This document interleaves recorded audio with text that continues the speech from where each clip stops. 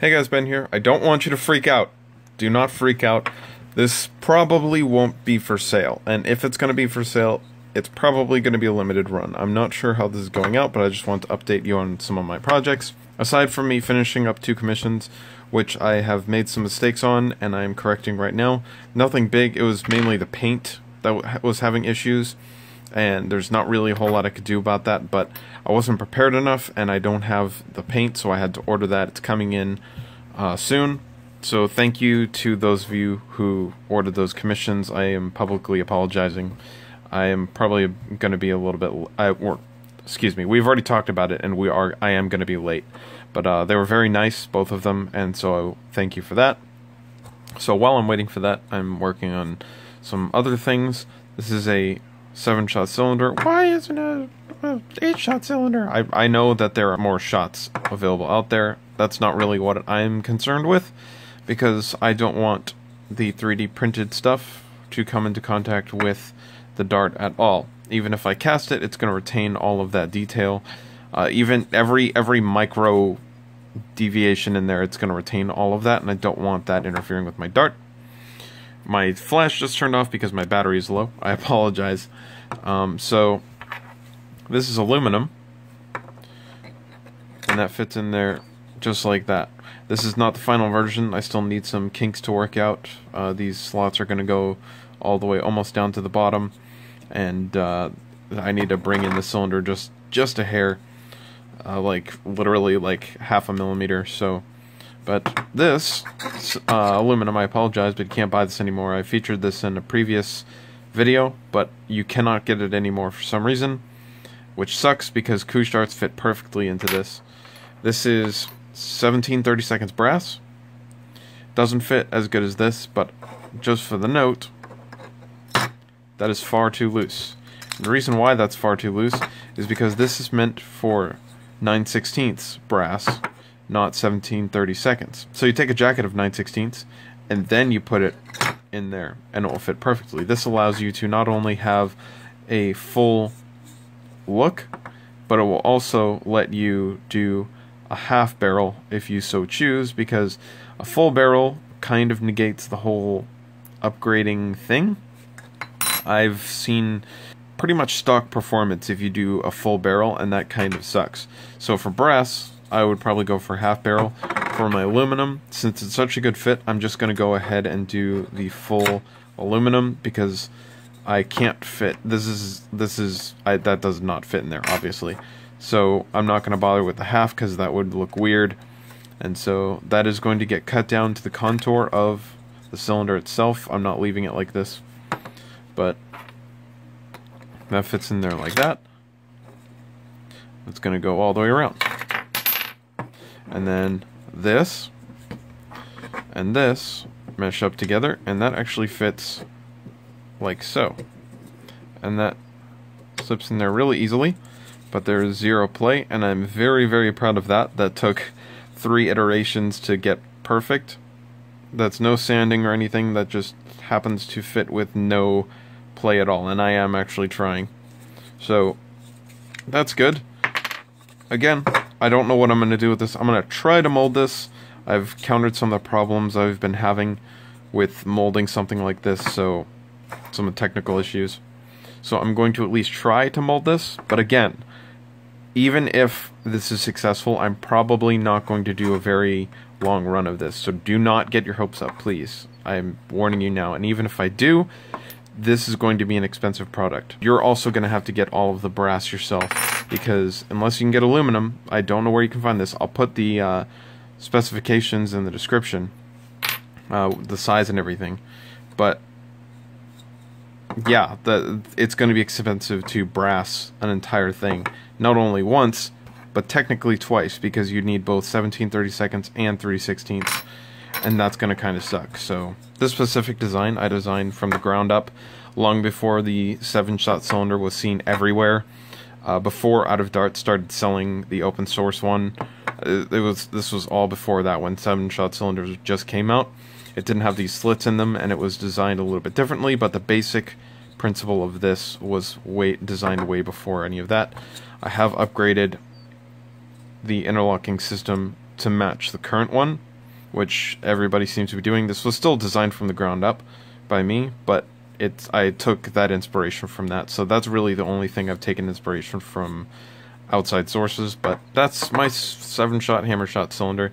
Uh, reason why I'm making this one is I do not like how the one on Cursed Companion is turning out, and I'll show you that when I'm featuring Cursed Companion, but I'm going to try to do this one instead, so uh, that's kind of an update on my Hammershot project.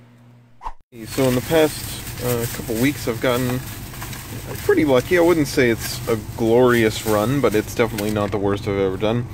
Uh, today, just got a clear mag for 49 cents. Has some little rubber thing in it that I'm going to have to extract out of that hole right there somehow. Just use tweezers or something, but I'll get it out. Uh, so that's good.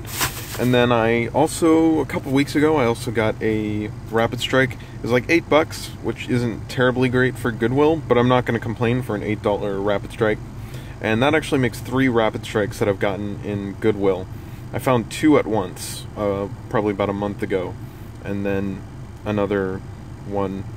And so I was expecting the clear mag because whoever got rid of their whole collection, if they got rid of a rapid strike, they probably got rid of the clear mags that go with it. And I think this is the second clear mag that I've gotten from this Goodwill. So that's not too bad. I don't expect to find the third one just because I might have already missed it. They might have not put it out yet. They might not put it out for a while. It just kind of depends on how they sort through things. So uh, just whenever you start seeing something good, go back every day or even go back a couple times a day because that probably means someone gave away their whole collection and you're probably going to find a few good things. So that's, uh, I guess, one tip I guess you could call it for goodwill hunting, because people are always asking, how do you find such good things? Really, the only answer is just to keep checking back, but uh, I guess that's one thing that you can say is kind of a another tip. When you see one good thing, someone probably gave away their collection, so keep checking back. Okay, so we have a crossbow here, and I actually just got this in a trade. This is for doing a Stryfe commission. I guess this is just a way of saying, hey, I'm human.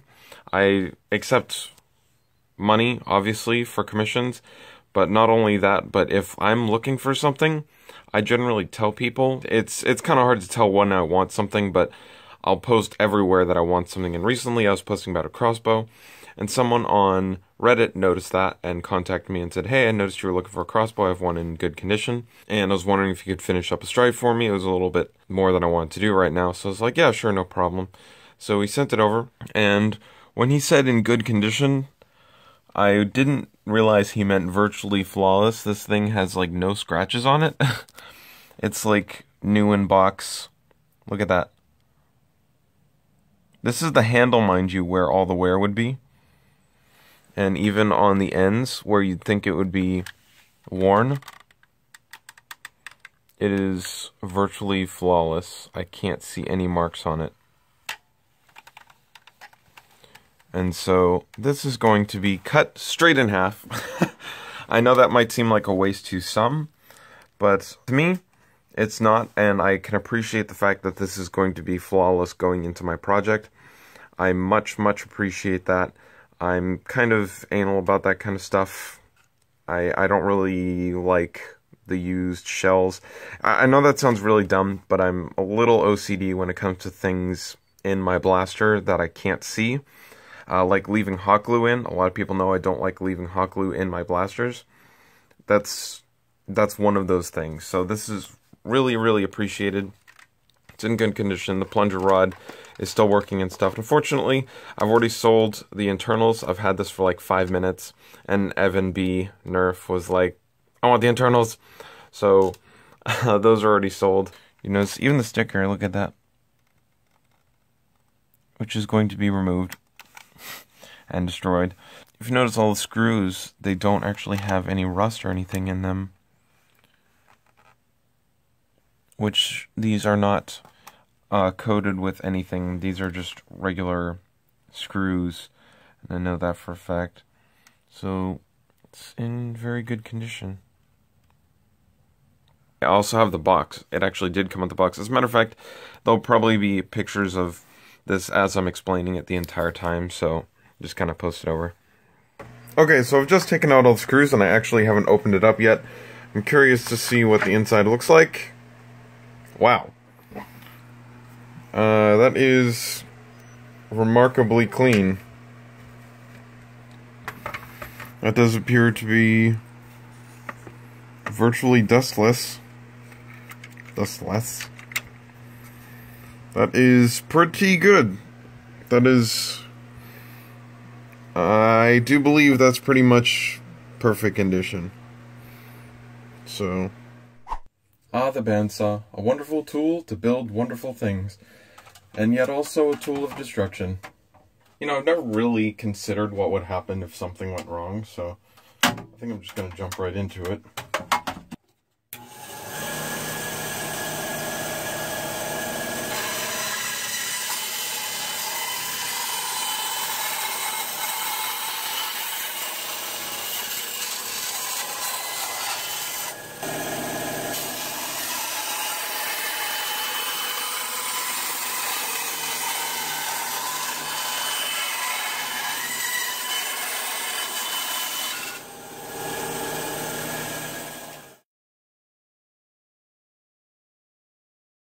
If it makes you feel better, I am going to be putting a Dr. Stinkus cage on that. That's a Gen 3.